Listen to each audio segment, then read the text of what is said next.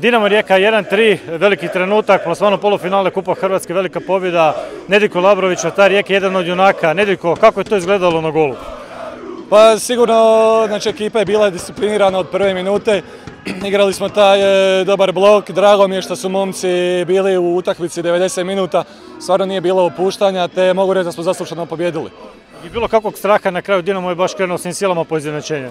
Nije bilo jednostavno, to su momci koji su karakterni u koje ja vjerujem, tako da uopće nije bilo problema. I evo ga, prva pobjeda protiv Dinama ove sezone nakon dva remija. Pa nadam se da ćemo i iduće sezone nastaviti u ovome toku. Puno hvala, čestitke na pobjedi i sretno dalje. Hvala vam.